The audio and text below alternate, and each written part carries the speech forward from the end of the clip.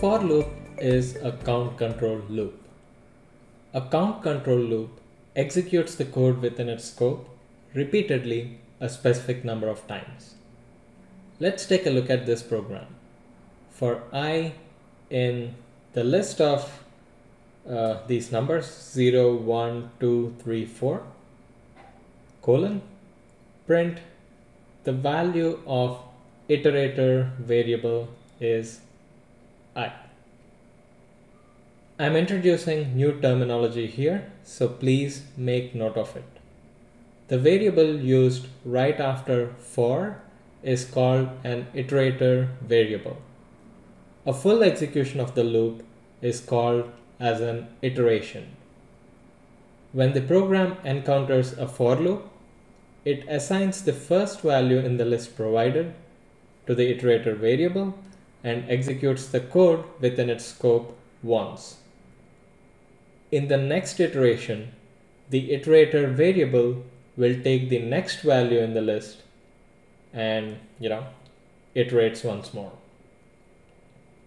This repeats until we run out of all the values in the list. Now let me change the values in this list and show you what happens. Clearly, the iterator variable picks the values in the list sequentially and the print statement displays the value. Perfect. Now, I need to mention this about a for loop. You need not use the iterator variable inside your loop. If I want to print hello five times, I could do that by entering any five values here in the list.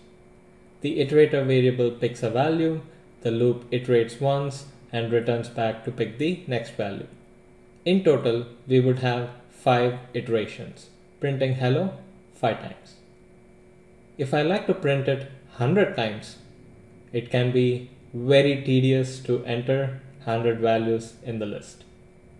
So Python creators came up with this very useful function to use in for loops, the range function.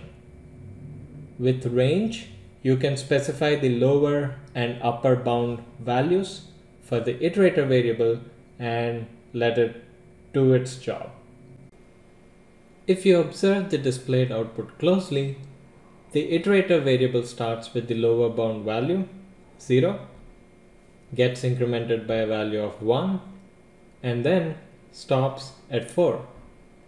You might wonder why it did not include 5 which is specified as upper bound. You need to be mindful of this whenever you use range function in Python. The lower bound is inclusive and the upper bound is exclusive. To demonstrate the potential of range function, I will show you a couple of examples. Here is a program that displays the even numbers from 0 to 10 in ascending order. Range function allows you to specify step size. You can write the step size right after specifying lower and upper bound values. I already mentioned that the default step size is 1. As we are displaying even numbers from 0 to 10, 10 should be displayed as well. That is why I wrote 11 as upper bound. The iterator variable starts with 0, so 0 is printed.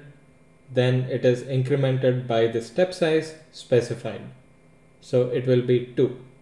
In the next iteration, it will be 4, 6, 8, and 10.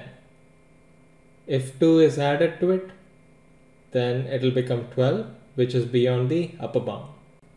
So the program exits the for loop. Now here is a program that shows how to display even numbers from 10 to 0 that is in descending order. We start with 10, end at minus 1 with a step size of minus 2. After first iteration, the iterator variable value will be 10 minus 2 which is 8. This repeats till we hit 0 after which we have minus 2 which falls beyond the boundary specified. Hope the range function is starting to make sense. Try to come up with few problems like these and see how you can solve them using range function. Alright, I will wrap up this lecture by showing you how to compute running total using for loop. First, we ask the user how many scores the user would like to enter. Once we get that number, we write for i in range 0 to num underscore scores. This will make sure that the for loop iterates num underscore scores times. After the program enters the for loop, we ask for the score, add the score to the running total, and then display the running total. I hope the examples we discussed so far gave you a good intuition about writing for loops in Python.